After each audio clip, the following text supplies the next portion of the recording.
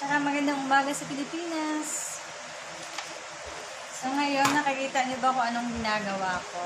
Ginugupit ko yung mga coupon na, na merong nakalagay save $1 and 1 50 cents.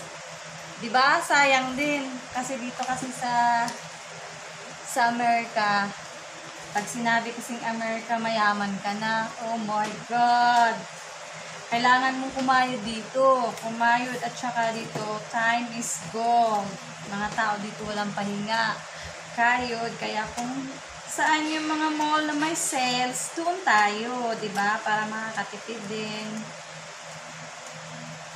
Tsaka sayang din yung perang may ipon, ba? Kaya, mali yung sinasabi nila na